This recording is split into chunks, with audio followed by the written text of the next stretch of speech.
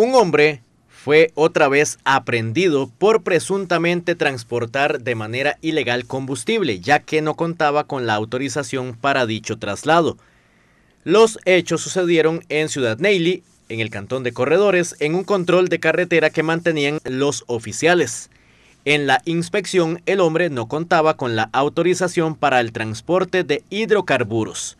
Los oficiales contabilizaron cerca de 1.200 litros de gasolina Plus 91, cuyo precio en el mercado costarricense es de cerca de 700 mil colones. La fuerza pública coordinó de inmediato con la Fiscalía de Corredores para presentar al conductor y el caso ante un juez. Asimismo, coordinaron con Recope para que se encargara del producto y la Policía de Tránsito para los partes correspondientes. Esta es la segunda vez que es aprendido este tipo de acciones por parte del sospechoso, pues el pasado 3 de septiembre también fue sorprendido transportando 1.663 litros de gasolina sin la documentación respectiva en ese momento en la Unión de Cotobruz en la frontera con Panamá. En aquella ocasión, una alerta anónima a la delegación policial informó de la adquisición del producto en territorio canalero y el ingreso a Costa Rica del mismo.